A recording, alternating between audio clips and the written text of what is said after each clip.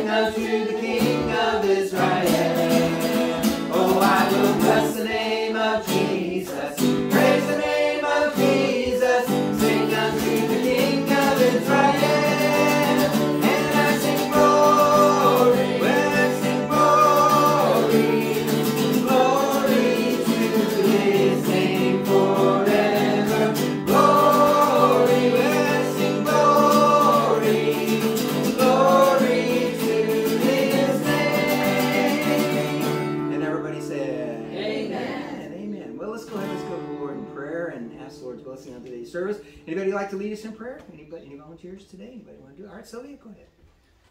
Father God, we give you glory, we give you praise, we lift you up, Lord, and we bless your name above all names. Yes. Um, thank you, Father, for loving us. We love you, Lord. We ask your blessings upon this service and the presence of your Holy Spirit, and just um, keep away any spirits that don't belong here. Um, we thank you for this beautiful rain and day, Lord, for their blessings in it. And bless all those who are here and those who can't be here. In Jesus' name. Amen. Amen. Amazing grace, how sweet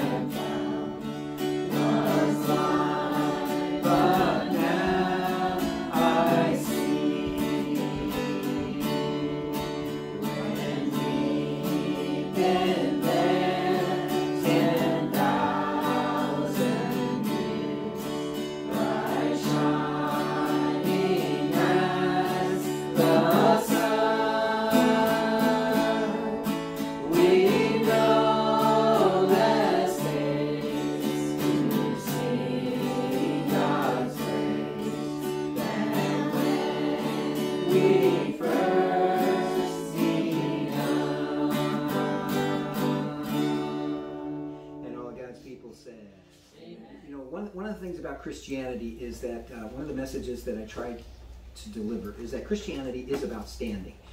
Uh, it's about kneeling, of course, before the Lord Jesus Christ. Amen?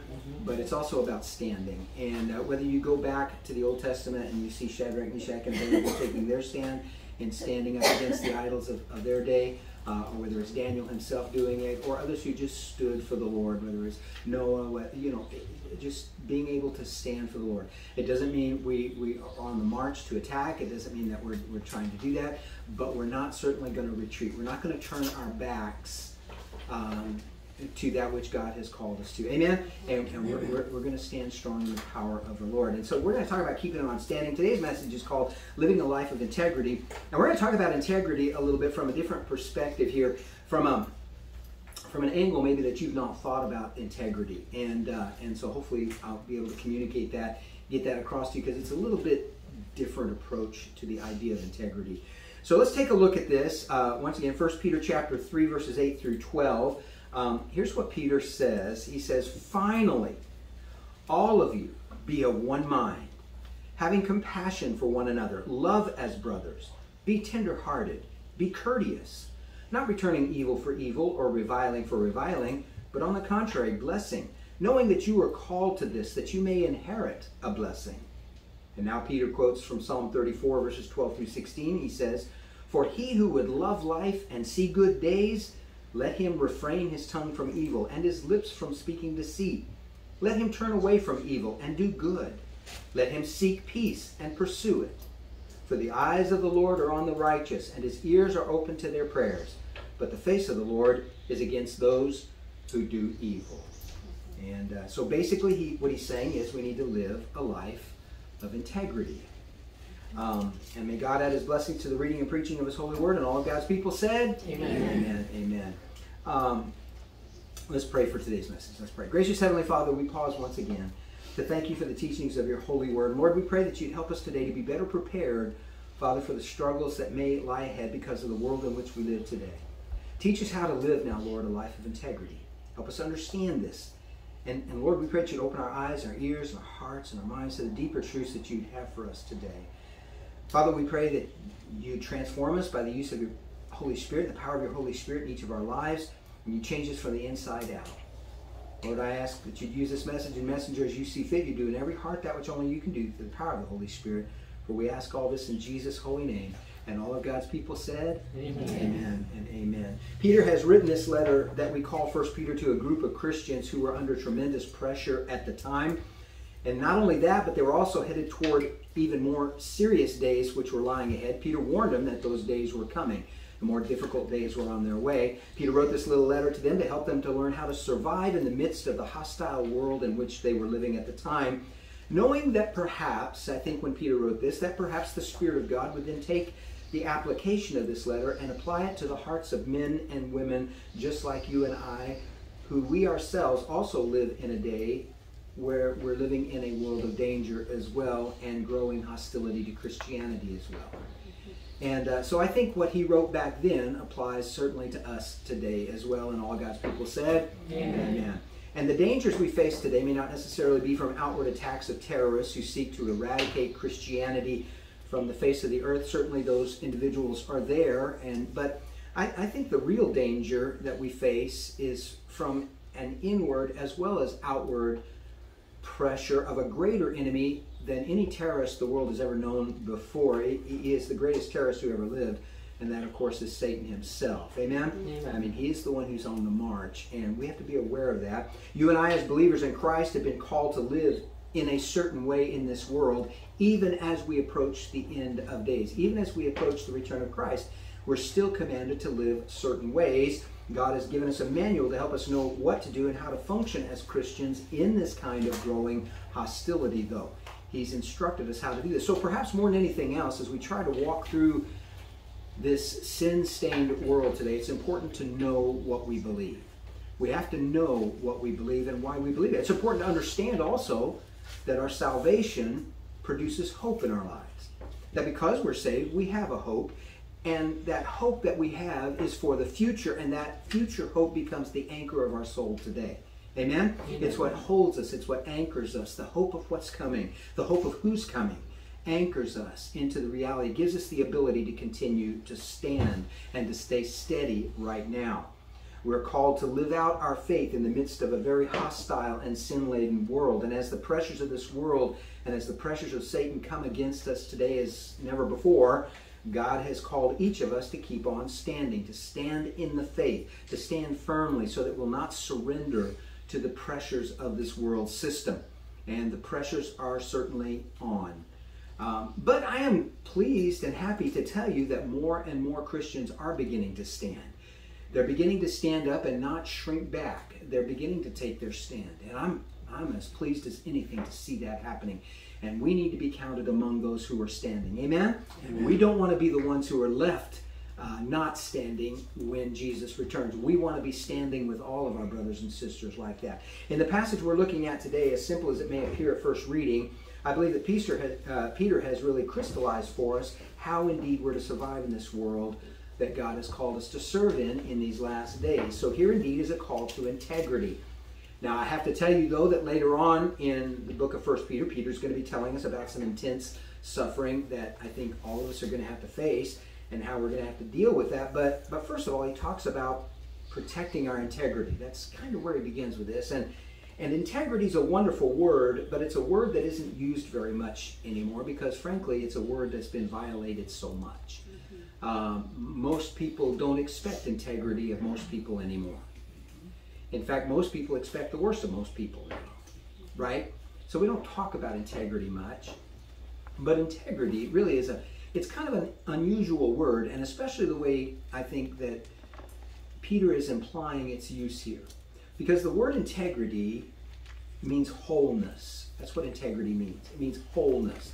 It means to be all together, to be integrated. That's the first key thought there. The word integrity means to be integrated. It means wholeness. It means to be all together. To be integrated. I, I like that term integrated because that's what integrity means, to be integrated. Um, when somebody says they're getting it together, you know, Amen. I'm, I'm getting my life all together. What they mean is they're heading toward integrity, mm-hmm.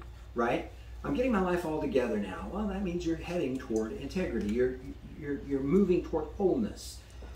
You're moving to more integration in, as to who you should be, as to who you really are. A man who's in Christ Jesus is a man who is of one whole piece. Amen? Amen. I mean, we're one now. He's not a fraction of a man, but he's a totally integrated person now. And that's what Peter wants for us to understand. Before we were saved, we were incomplete. We were not integrated. We really had no idea under, uh, of understanding in regards to integrity because we didn't know the author of integrity. Amen? Mm-hmm. We didn't know him. But once we know Jesus Christ, we become then a whole person. Before we were saved, we're incomplete, but now, after we're saved, we are whole. We may not always feel that way, but we are. That's who we are. If we're to survive in a hostile culture in which we live and are quickly entering into, Peter wants us to become to understand that we are totally integrated as men and women who are a part now of the body of Christ. The body of Christ is not to be fragmented, but to be integrated one with another. Amen? Amen. We're to be so connected because we are connected by the same Holy Spirit. We are one body. Amen? One family. That's that's what the Bible teaches. We have to learn to understand how to live as a whole person now in a fractured world. We need to be men and women of integrity, whole people in the midst of a world of shattered people. Do you realize, do you understand that that's really the one thing that sets us apart from everybody else? Mm-hmm. Is the fact that when other people are fractured and shattered, they look at us and they see somebody who's whole. Mm-hmm. They see somebody who's complete. They see somebody who knows how to be happy no matter what. That they see that in us. They should see that in us. And I think in the last days, this character trait of wholeness or integrity, being integrated, is the one thing that will cause us to stand out like nothing else. Um, especially how we deal with the hostility that moves toward us.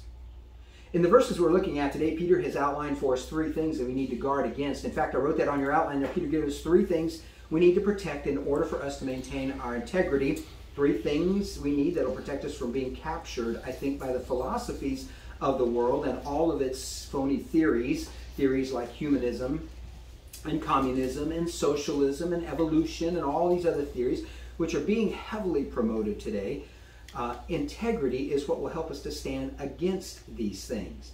So here's the first thing Peter wants us to learn. Here's number one on your outline. And Peter tells us, first of all, it's important to guard our attitude towards other believers in Christ. This is what helps us to understand how to be integrated.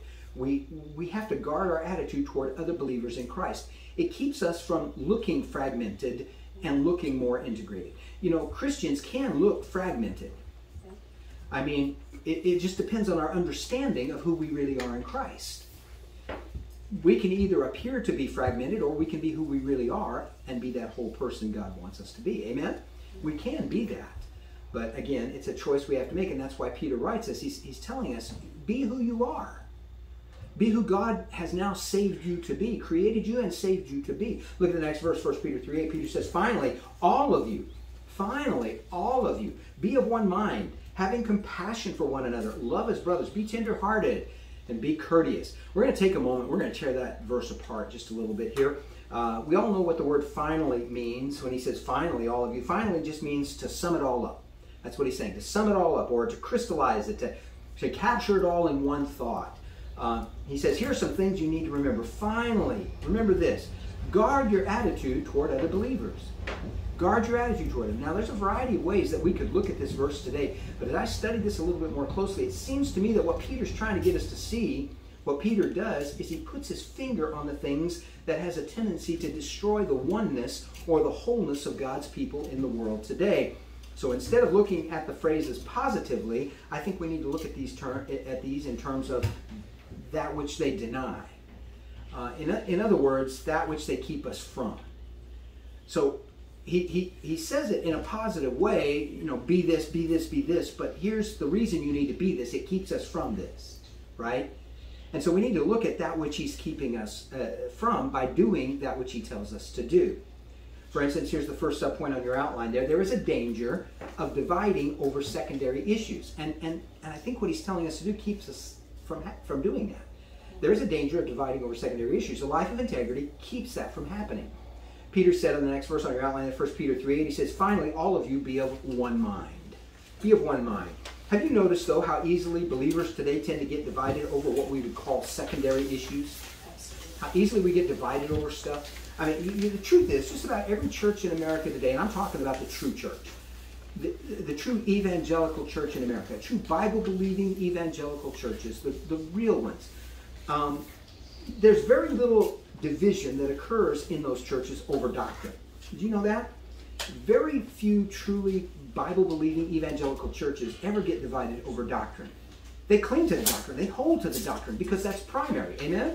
That's primary to our salvation. It's primary to our understanding of what it means to be saved. And so they cling to that. But most of our divisions tend to be over secondary issues like methodology, how we get it done, how we do things. Um, uh, so they, they, they have to do with secondary issues that we can't find a, a clear piece of scripture to determine which way we should go or not go you know and so secondary issues like like, how should we do this? Should we go and picket or should we not go picket? You know, should we go and march against these or should we not? You know, and these are these are secondary issues because we're commanded in Scripture to do what? To stand. That's what we're commanded to do. So those are second. Those are methodology issues. Do we go march? Do we not go march? Do we do we pick picket this place? Do we not pick picket this place? You know, how do we deal with this? And so sometimes people get. I mean, in some churches. I mean, I grew up in a, in a church that got divided over the color of the carpet that they wanted to buy.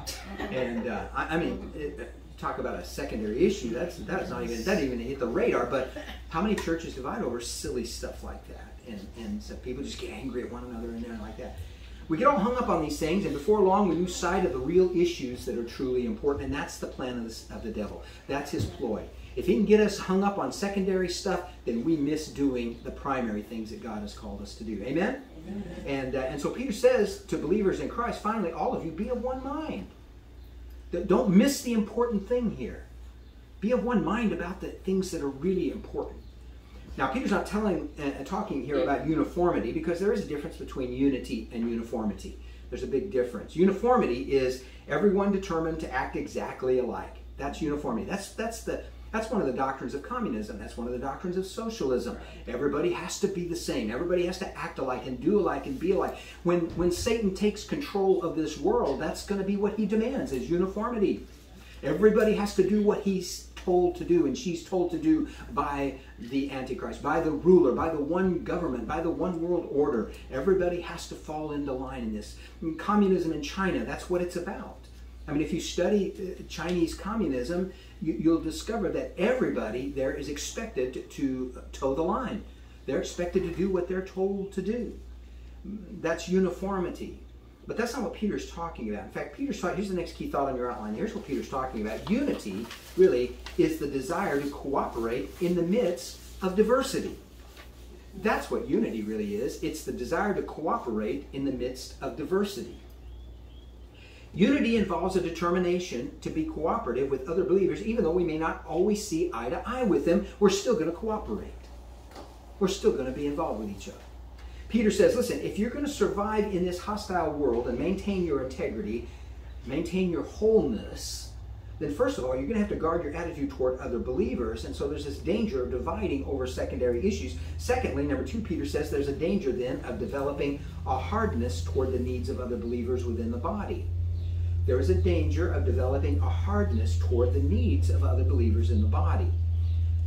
Um, the next verse on your outline there, 1 Peter 3 8, Peter says, Finally, all of you be of one mind, having compassion for one another. Say that last phrase, having say that with me. Having compassion for one another.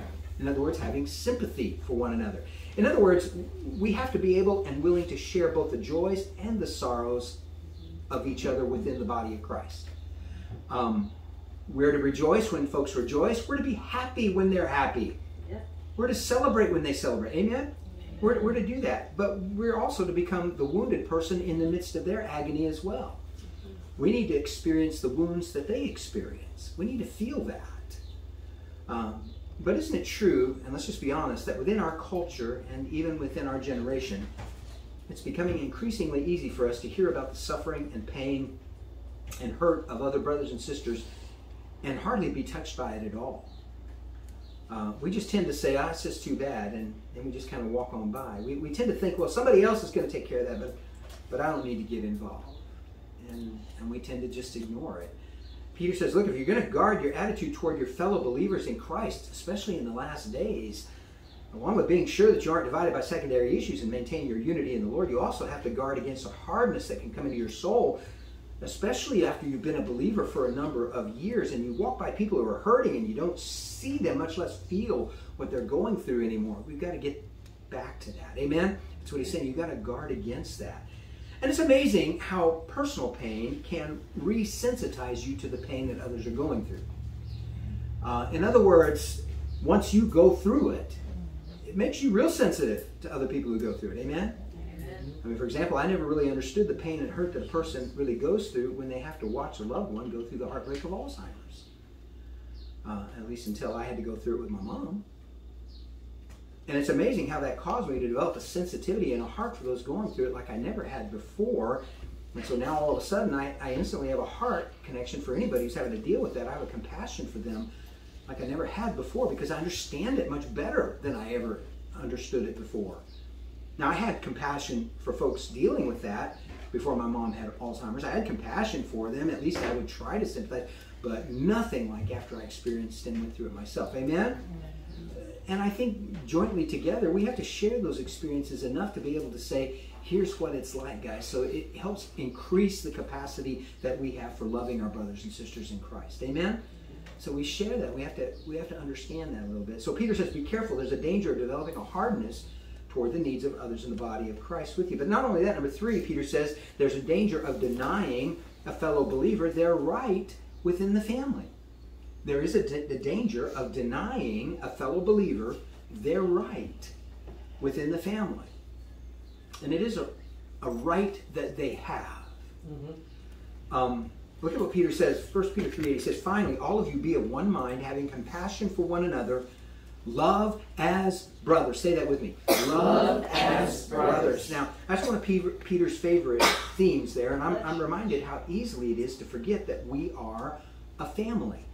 we're a family. That's the implication there. Love as brothers because we're a family. If, if your human family, in your human family, if someone in that family, if something happened to someone in that family that was out of your control, and let's say, let's say maybe a, a child is born to your family who has some kind of a birth defect or something like that, I, I can promise you that if you're a godly family, it makes no difference that that child has a birth defect. Amen. It makes no difference to the family. That child is going to be just as much loved and just as appreciated within that family as any other family member would be. Amen? Amen. It, it doesn't matter. In, in fact, if you talk to someone who has a child with problems like that, they'll tell you that that child actually ends up being the one who gets the most love from everyone because the other the other children in the family they just tend to gather together and shepherd that that child. They they, they want to help that child and, and and they put their arms around that child. They, they protect that child. They help nurture that child. And and uh, that's just the way we are. That's the way we should be. I mean, that's, that's what should happen within the family of christ as well. Because sometimes my, my heart gets a little broken when I think about when I see how sometimes we treat some of our brothers and sisters in the family of God. Sometimes it does break my heart a little bit. And, and, I mean, we may have some brothers or sisters who come to not not this church. I've not seen that happen here, but in other churches I've seen it happen that I've been a part of, and and they come to church and they may not be the sharpest tool in the shed all the time, and and or, or sometimes they may not have the best of clothes, or, or maybe they don't have the same social graces that we feel are important for folks to be able to move in the circles in which we move in, and and so how do we how do we treat them? You know, um, sometimes we just pass on by them like they're not even there. We push them away. We never include them in our circle of friends. You know, they're kind of on the outside there. And perhaps we get a little embarrassed when they approach us and we try to stay away from them or we try to keep other people away from them to avoid them. It, it's not that they're doing anything wrong, it's just that they don't seem to measure up to our personal standards that they ought to have as a part of this church family. You know, and and so when that happens, in essence, we deny them their right as a full brother or sister in the family of God. And and that's why Peter says if you're going to survive in this world, if you're going to maintain your integrity as believers in Christ, then don't deny your fellow believers their rights within the family of believers. Don't deny them their right of full acceptance and full fellowship with everyone. Amen? Amen. We all have a right to that because we're all brothers and sisters in the family of God. And everybody said, Amen. Amen. We are. But then, number four, Peter goes on to remind us that there is a danger of dealing with doctrine coldly. There is a danger of dealing with doctrine coldly. Now, Peter goes on to say in this next verse, 1 Peter 3 8, finally, all of you be of one mind, having compassion for one another, love as brothers, be tenderhearted. Say that. Be tenderhearted. Now, that stands in opposition to being hard hearted. The opposite of tenderhearted is hard hearted. Sometimes, if we're not careful, we can get so involved in theological truth and doctrinal truth that we, when we go out and try to impact our world, we, we go to try to change people with doctrine. We think doctrine is what's going to change people. Doctrine is important, and it's especially important to the growing Christian. Do you know when doctrine becomes important to you and I? It becomes important to you and I after we're saved, mm-hmm. but not before. Amen. I, I'm going to be honest with you. People who aren't saved really don't care about doctrine. Amen. They don't. But to you and I who are saved, it becomes critically important. Doctrine is important, especially to a growing Christian. It's important to kind of understand Greek and Hebrew in our studies of God's Word. It's, it's important to understand some of that. It's important to know theology. It's important to have good exegesis being done. It's, it's important. But, but listen, good theology without tender-hearted application doesn't mean much to anybody. Mm-hmm. We are very sophisticated in our knowledge of the Word of God, and we have had advantages, you know, that no other generation has ever had. I mean, in terms of books and publications and research and copies of Scripture and radio and internet and television and lots and lots of good Bible teachers, we have more than we know what to do with now. But listen, folks, all that knowledge in God's Word without a tender heart towards people has really no impact on others at all. It's the old saying that I'm sure you've heard many times that you know people don't care how much you know until they know how much you care, right? They don't care how much you know until they know how much you care. And we need to understand that. So that's why Peter is saying when it comes to other believers, be careful that you don't develop cold heartedness toward doctrine and then ignore the need for of love for your fellow believers and other people. The doctrine that we learn has to be warmed and lovingly applied to other people. Amen. Um, look at what Paul said in the next verse on your outline, Ephesians 4.32. Paul said this, he said, and be kind to one another, tender-hearted, there's that word, tender-hearted, forgiving one another. Even as God in Christ forgave you, be kind and forgive. That's, that's what a tender heart does. Amen? it's so easy to get so technical about what we believe that we totally ignore the purpose of believing it. And so Peter says there's a danger in dealing with doctrine coldly. And then notice number five, the next verse. there's also a danger of undermining, or determining, rather not undermining, there's a danger of determining that we're better than others. There's a danger of determining that we're better than others. This is the last thing he says in that verse. If we're not careful, we can ruin our integrity, our, our integration with God and with one another. We can ruin that with other believers by determining that somehow we're better than they are. That somehow we're better than others. Look what Peter says in, the, in this next verse, 1 Peter 3 8 again. He says, Finally, all of you be of one mind, having compassion for one another, love as brothers, be tenderhearted, and be courteous. Say that. Be, be courteous. courteous. Be courteous. Now, the word for courteous is the Greek word, and it's a word that literally means humility. To be courteous means to be humble. You can't be courteous unless you're humble, right? For example, if I'm courteous, would you say that I'm being courteous if I hold the door for you? Yes. You know what that requires? Humility. Humility. Because, in other words, I'm saying you go first, right?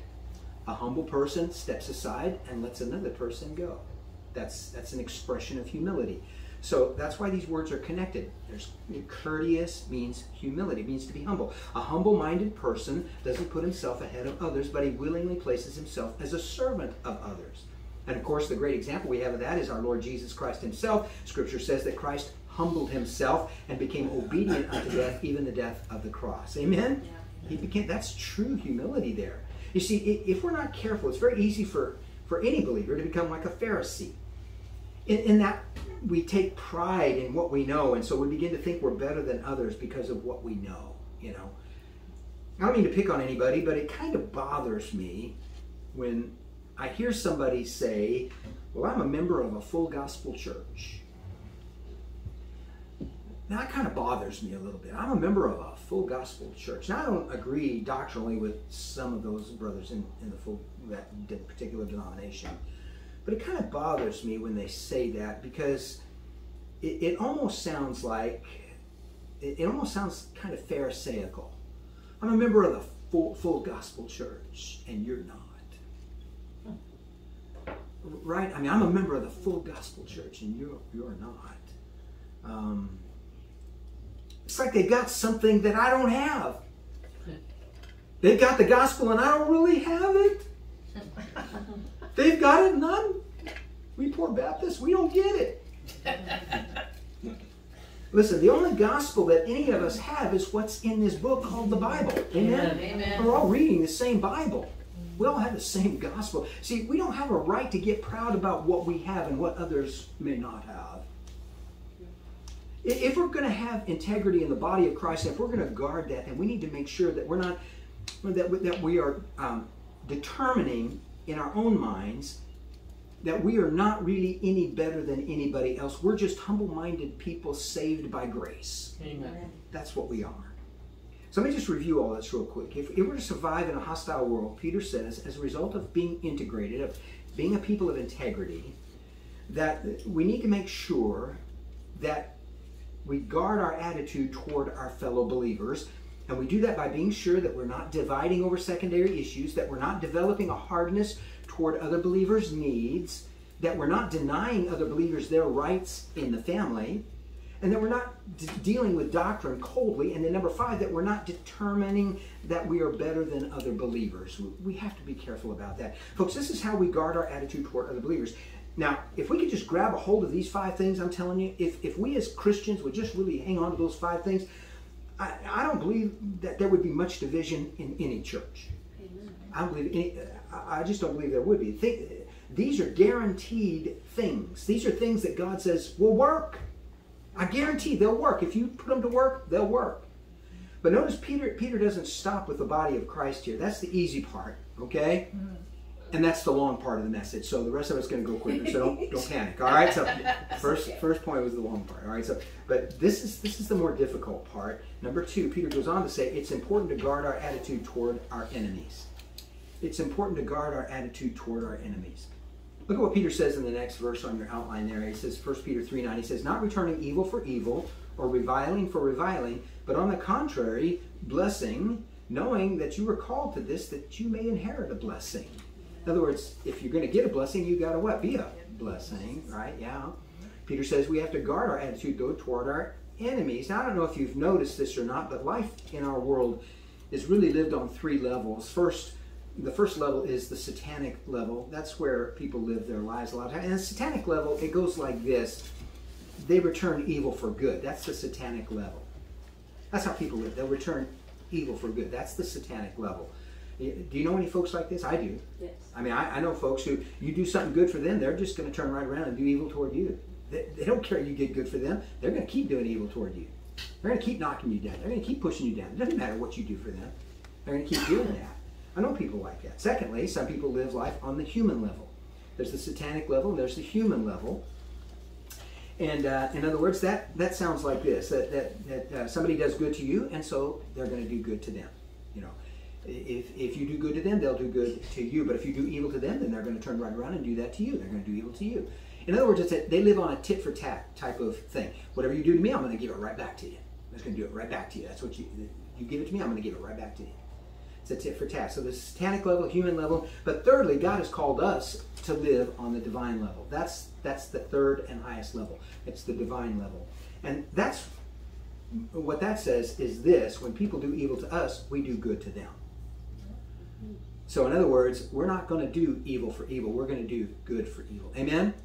And frankly, folks, only God can help you do that Amen. because that's not a natural thing to do. It requires supernatural invention to be able to do that. That's why we read what Jesus said in the next passage on your outline, Luke 6, 22 and 27 and 28. In there, Jesus said this Blessed are you when men hate you, and when they exclude you, and revile you, and cast out your name as evil for the Son of Man's sake. But I say to you who hear, Love your enemies, do good to those who hate you, bless those who curse you, and praise, pray for those who spitefully use you. Folks, that's not a human response, that's a divine response. Somebody does something to hurt us, somebody says something to damage us, and they try to put our name in a bad light. First thing we tend to want to do is to go out and get even with them. That's the first, that's the natural response, that's the human level.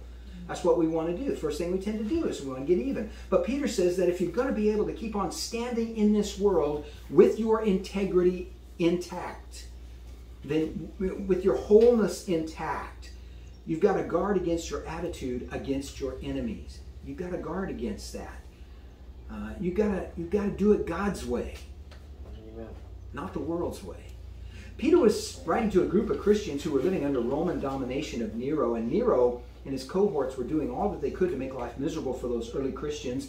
Um, and, and so you can see how these Christians could have easily developed an attitude of hatred toward the Roman guards, toward the Roman garrison, toward the Roman emperor, toward Joe Biden, toward the. I mean, you know, they, they could have developed this hatred toward them because of what they were doing because of how they were treating them, because of their deliberate abuse.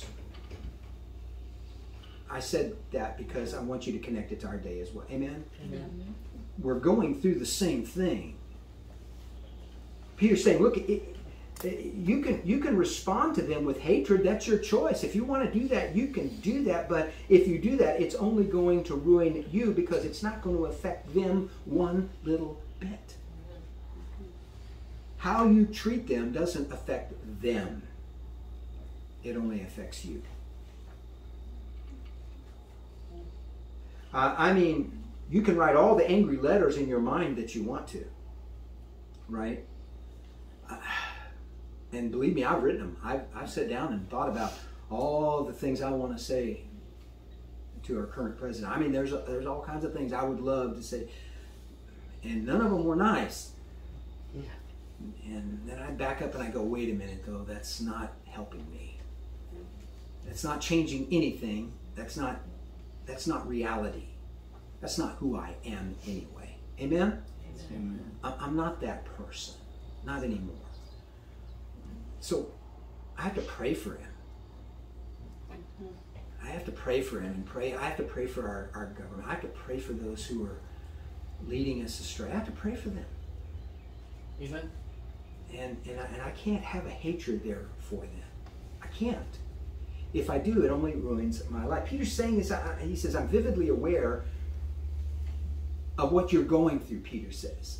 And, and you know, Peter is vividly aware of that. You know that, right? I mean, he, I mean, because if you remember when Peter was in the Garden of Gethsemane with Jesus, uh, with Jesus, and when Jesus was being arrested, Peter got so angry that he cut off one of the guards' ears, ears with a sword when, while Jesus was being arrested. I, I think Peter was going for his head, but he wasn't a very good swordsman, so he only got his ear. Um, and, and then you remember Jesus had to put it back on. Jesus had to heal it back up. But you know, later on, after the resurrection and after the ascension of Jesus Christ, Peter finally started getting it. Peter finally started to understand because we find Peter in jail shortly after that. He's been arrested. He's thrown in jail for preaching, and and uh, and this time he doesn't resort to violence. He resorts to the power of prayer on behalf of the church. The church begins to pray for him, and he begins to pray in in there, and he begins to sing. He watches as God goes to work on his behalf. Peter put himself in the Lord's hands. So Peter, I think, is uniquely gifted to write to us about this. And Peter's the one who tells us that as believers, we're the ones who have to return blessing for cursing. As believers, we're the ones who have to return kindness for cruelty. We've got to be the ones who do that. And, and we have to return mercy for meanness. I mean, that's not something we do easily, especially when the kind of pressure we're facing is on.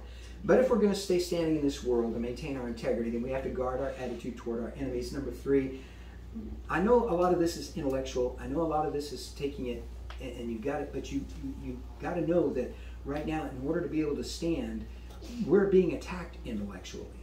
We're being attacked intellectually. We are. Uh, we have to go back to the intellect of God's word to be able to defeat the intellectual attacks of the world. Amen. Mm-hmm. We, we have to do that. So that brings us to number three. It is important to guard our attitude toward life itself. It's important to guard our attitude toward life itself. In the remaining verses of this passage, Peter now quotes from the 34th Psalm, which is a wonderful passage out of the Old Testament. And I think that the reason Peter puts this in here is that if you're a Christian living in Rome and you read all this stuff that Peter has written, the conclusion that you would have drawn is that things are bad and they're getting worse. They're just going to get worse. And, and so, what would your attitude be if you weren't very careful about that? What would your attitude be? Well, I mean, you begin to think, well, what's the use? I mean, life's going to end anyway, so don't plan, don't do anything. I might as well just wait for the inevitable. I'm going to die. They're coming after me anyway. I mean, Rome is going to kill all of us anyway, so life's a drudgery, so why go on? Just end it all. Just, just forget it. I mean, you ever get to that place? You ever just want to run away from it all? just want to run away from it all? Someone said that life for most people is lived in three different ways. Some people endure it as a burden. Some people try to escape from it, and we see that all the time when people crawl into alcohol or they crawl into drugs or they just run off. They, that's how they escape life itself. That's one of the methods they use, and or television or their phones or internet or something. They, they're using something to run away. So you either endure it or you escape from it. But then the third way is that some people choose to enjoy life. That's that they just choose to enjoy it. And, and this is what Peter's saying. He's saying, look, I, I know that things are bad and you're going through persecution and there's not much human hope, but enjoy your life. I know there's not much hope. I mean, you look around and you go, eh, things are falling apart. Enjoy your life. And we want to say, are you kidding me, Peter? I mean, you're telling us about all this bad stuff that's coming our way and you tell us to enjoy life. But that's exactly what Peter's saying because Peter knew, on the basis of all the people he knew, that enjoyment of life is not based on outward circumstances, but it's based on what's going on inside of you. And as we look at these last couple of verses, I think that you're going to find that Peter says some surprising things about enjoying life. I mean, if we're all, if I were a humanist up here today trying to tell you how to enjoy life as a humanist, I would say things like, you got to eat the right food, man. I mean, you got to get the right stuff. And and you got to get more exercise. You got to exercise. Now, this is all good advice, but as a humanist, that's the best I can do. Okay? You got to get good exercise, and you got to stay away from the stress, man. You got to you got to find a climate in the country where the weather's not too hot and not too cold, but it's just perfect all year long. And that's where you got to go, man. You got to, and, and, and, and we think that we're going to enjoy life more if we get the conditions outside of us better. If we make the conditions better, then we're going to enjoy life more. But Peter's going to give us a little spiritual, holistic lesson here. Here's number one on your outline. First of all, Peter says if you're going to enjoy life, you've got to make a conscious decision to enjoy life. That's where it starts. And frankly, to be honest, it pretty much ends there as well. It starts there and pretty much ends there. You've got to make a conscious decision to enjoy life. Look at what he says in the next verse, 1 Peter 3.10. For he who would love life and see good days. Now, little literal translation of that is for he who would determine to love life. That's what he's talking about. He who would make that determination. In other words, you have to decide. You've got to make a determination that no matter what goes on, I'm determined that I'm going to love this life that God has given to me. It is a gift from God, no matter how long I've got. And so I gotta love it. The writer of Ecclesiastes, who tried to figure out life without God, remember Solomon? He said that therefore I hated life because it is a vanity and a vexation of spirit. That's what Solomon said. He said, I tried to figure out life without God and I hated it. In other words, life without God, no matter how good it is on the outside, and, and, and Solomon had everything, he had it all, but he said it always ends up at the same point. You end up hating life. If you try to do life without God, you're going to end up hating it. But life with God, on the basis, basis of your conscious decision to love it, can get you through the stress of it no matter what comes your way. But it's a decision. It's a determination we make. I mean, I don't know why people think that as Christians we have to go around looking like a bunch of rejects from a dill pickle factory all the time. I mean, I, I, it's true. I mean, I, we just kind of look so sad all the time. Why would anyone know? want to be a Christian? Well, exactly. I mean, they look at us and they think, "Good grief, whatever they got, I don't want any." You know, uh, no, thank you. And, but Peter's saying, look, just determine to love life. Really love it. Enjoy life. Whatever you life you have or have left, just determine to love it. We spend so much of our life just being depressed all the time. And life is to be enjoyed and loved. I think you can love life and be in pain. I think you can love life and be sad at the same time you can still love life. Then Peter goes on to say something that doesn't seem to fit here, but I think the psalmist is really onto something here. Here's point number two on your outline there. If you're going to enjoy life, you have to make a concerted effort to control your tongue.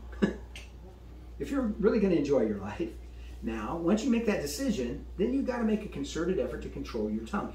And this is important to integrity. This is important to being an integrated person fully integrated in the body of Christ, integrated with God and integrated with one another. Look at the next verse, 1 Peter 3.10. He says, For he who would love life, whoever determines to do that and see good days, if you're determined to do that, then let him refrain his tongue from evil and his lips from speaking deceit. You got to control it. James tells us that our tongue, James says that our tongue is the smallest member, but it has so much power for getting us into trouble. Do you know that if we could take a survey of our lives and we put all of the trouble that we've ever been through in our lives, if we took all, if we could just gather it all together and put it over in a pile over here, all the trouble that we've been through, everything that we've experienced that's troublesome and troubling and everything, and we put it all in a pile here, I just wonder if we were able to examine that pile, I just wonder how much of it would be the result of our lack of ability to control our tongue. Mm-hmm. How much of it would be the result of things that we said that we shouldn't have said, or things that we mm, should have said and didn't say, but it created so much trouble because we didn't really control our tongues. We're always talking when we should be quiet. Uh, and we don't always tell the truth, do we? I mean, that's, that's kind of problematic. I've talked with people who have lived deceitful lives. I've talked with people who have lived deceitful lives, and not, I, I, didn't mean to look at you. I, I, just, I thought you were like, I go, wait, wait, wait. No, I, but I've talked with people who have lived deceitful lives, and and they can't understand why they don't have good relationships. they, they just can't figure it out. I, I mean, seriously. I mean, I've sat in counsel with people whose life is just one deceitful act after another. They lie to their spouse, they lie to their kids, they lie to everyone, and, and they can't figure out why their relationships are just They can't figure it out. Lies and deceitfulness always destroys relationships. Always. And it destroys all kinds of relationships, whether it's with employers, employees, I mean, you name it. Lies and deceitfulness destroys relationships. You can't really make it in the world if you don't have integrity with your speech and with your life. Amen? Amen? Not, not the way God wants us to make it. You just can't do it. I love this little prayer in Psalm 141 3, the next verse on your outline there. In fact, this is one that, that's well worth memorizing. It says this It says, Set a guard, O Lord, over my mouth. Keep watch over the door of my lips. I love that. That's a great prayer, right? Read that with me. Let's read that out loud together. Ready? Here we go. Set a guard, O Lord, over my mouth. Keep watch over the doors of my lips. What a great prayer. Sometimes before Cindy and I have to go to an important meeting of some kind or we have to make a decision of some kind, we, we kind of admonish each other and we remind each other we've got to be careful what we say. We just kind of say that. Just, just remember, we got to be careful what we say, you know, because because the truth is we can get ourselves in a lot of trouble when we don't control what we say. Uh, and, and, and not a lot of people, and, and to, to, be honest, you know, um, criminals are the worst at this. Have you noticed that? I mean, when criminals get, I, I watch a lot of those cop shows, and, and, and people always, they just talk too much. And they say things that get themselves in trouble all the time, or get somebody else in trouble all the time. They just, they, they can't control their tongue. It really does require supernatural control. Amen? I mean, God has, we have to yield it to God in order to do that. Uh, so it's important that we learn to control our tongue. Number three, if you're going to enjoy life, then you also have to make a commitment to turn from any known sin and live righteously. You've got to make a commitment to turn from any known sin and live righteously. Now, look at the next verse on your outline, 1 Peter 3.11. He goes on to say, let him turn away from evil and do good. And what he's talking about? Repentance, right? That's what repentance is. Let him turn from evil and do good this is so basic and this is so simple, I'm almost embarrassed to say it. But if you're not really enjoying your life, one of the reasons could be that you're not living it right Amen. or righteously. I mean, it could be that there's a sin that you're still hanging on to that you got to get rid of. And it may be a uh, something that you think, well, it's just a little sin. It's not a big one. It's not really. It's not really hurting other people. Yeah, it's hurting you. And and it's keeping you from the joy that God wants you to have. Um, Sin never stays small, though. It doesn't stay small. It always grows. That's true. But sometimes we, we kind of think, and, and, and it grows. It grows whether we acknowledge it or not. It still grows. See, you're not going to enjoy life or love your life if you've got one foot still planted in the devil's territory and one foot, one foot planted in God's territory, and you're trying to live in both worlds at the same time. You can't remain standing that way. Amen. You're going to be pulled down. You're going to be. You're going to fall. It, it's going to happen. It, it doesn't matter if God owns the whole farm, but you've given the devil a little section right in the middle of it because Satan's still going to stomp all over God's territory to get to that which is his. And, and so what we need to do is we need to give the devil an eviction notice from our lives. Amen? We need to evict him from our hearts and from our lives. We do that through repentance. We do that by confessing it to God, asking his forgiveness and power to overcome it, and then rejecting it, just walking away from it. And then, I mean, when we do that, the joy of life comes back. And then number four, if you're going to enjoy life, you have to make a constant direction toward peace. Just write that in there. You got to make a constant direction toward peace. The next verse there, 1 Peter 3.11, he says, Let him seek peace and pursue it. Jesus said, Blessed are the peacemakers. Blessed are the peacemakers. Now listen, how are you going to survive? How are you and I going to survive what's ahead? How are we going to be able to keep standing? How are we going to maintain our integrity and live as a whole person, as a, as a whole Christian in a culture that's much like it was in Noah's day? How are we going to do that? Well, first of all, you take care of your relationship with other believers. That's how you do it. Then you make sure your attitude is right toward people who are angry with you and persecuting you, your enemies. Make sure your attitude's right with them. And you make sure that you've got a right attitude toward life itself. I'm convinced that God has called us to learn to enjoy life, I think, now more than ever before. I think we should be enjoying life now more than ever before. Because God doesn't want us to just endure until He returns. I mean, He hasn't called us to just wait with sadness until the rapture comes and then He takes us out of all this mess. I mean, I, God has called us to enjoy the life He's given to us right now. This is our life that He's given to us. It's a gift. Enjoy the gifts God gives us. Amen? Enjoy it. And no matter how hard the pressures are, if things are right on the inside of you, then you can have a kind of joy and a kind of peace that the world won't understand but envies and wants. And you know what the blessings of all of this is? Look at the last verse, 1 Peter 3:12. This is the blessing of all of it. For the eyes of the Lord are on the righteous, and his ears are open to their prayers. But the face of the Lord is against those who do evil. Wow. How would you like to know that God is watching you all the time with tender, loving eyes and listening to you whenever you pray? That's what he's saying is happening. If you if you live this way, if you live as an integrated person in the body of Christ, a person of integrity in the body of Christ, and he says he's going to watch you and he's going to listen to you, which means he's going to protect you, he's going to hear you, Amen. he's going to be with you.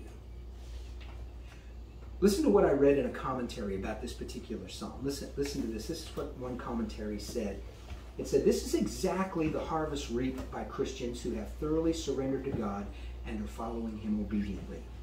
Their prayers are answered, for they pray in harmony with God's will. Their spirits are in fellowship with God. Their hearts are at rest. Their wills are centered. Their desires are integrated. And then he says they are not necessarily free from pressure, but the pressure they experience does not arise from their own ambition. They may have disappointments, but they will not be frustrated. If they suffer illness, it will not be caused by their own guilt or tension. If they have tough sledding, it will be uh, designed to try them, not to punish them.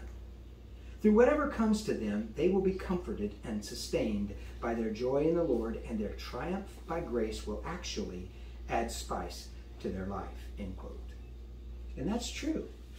I think that's what happens for the Christian who is fully integrated in the body of Christ. One who lives the way Peter is talking about. If we're to stand in these last days, and if we're to remain standing, we have to be that kind of integrated within the Spirit of God and within the body of Christ, one with another.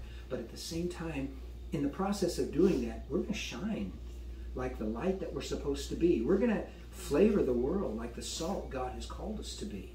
We will be the salt and light. It's a different way, brothers and sisters, of bringing people to Christ now. Have you noticed that not many people are getting saved these days? Not like they used to? Even Franklin Graham will tell you that. He said they're just not getting saved like they used to get saved.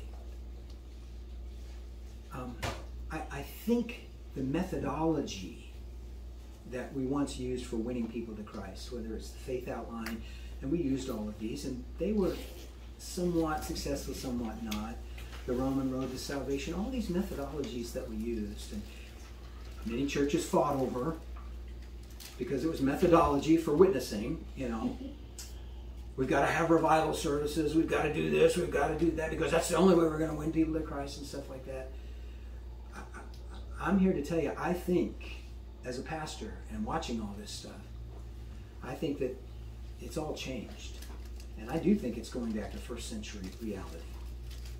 And I think that first century reality is exactly what Peter was talking about.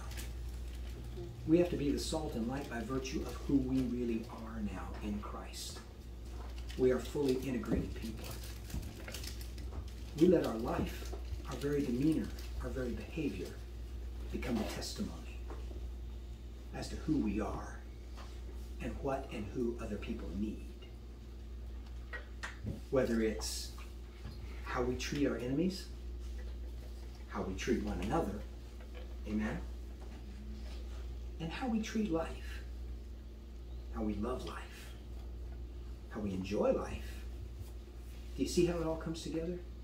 I hope you do, mm-hmm. because that's what's going to take to stand in our culture today.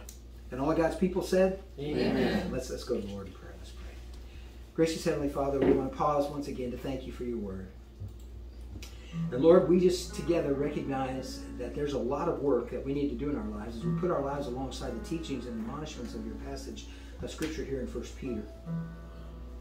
Lord, we, we know that we need to do more work in regards to our attitude toward other believers, especially toward our enemies, and Lord, even toward life itself. Help us, Father, not to be discouraged with the problems that we go through. And though they may be immense, though they may be tough and difficult at times, but you haven't called us always be down in the mouth about it, but you, rather you want us to, to have a joy, Lord, that, that, that radiates from the inside out. So that we'd be able to walk through life excited about the possibilities that are ours, the possibilities that are coming, the reality of your return, that, that we can be excited about what's coming, Lord, and not depressed and not angry. Help us to love life like you've called us to love it. Lord, make this passage to be an encouragement to all of us and to those who may hear it everywhere, Father, online or wherever, Lord. Just help us to be able to stand up and to keep on standing in this culture. To your glory and honor, for it's in Jesus' name we pray. And all God's people said, Amen. Amen. May the Lord bless you and keep you and cause his face to shine upon you. May he fill you with all of his goodness. And may he give you the power you need to stand for his glory and honor. And all God's people said, Amen.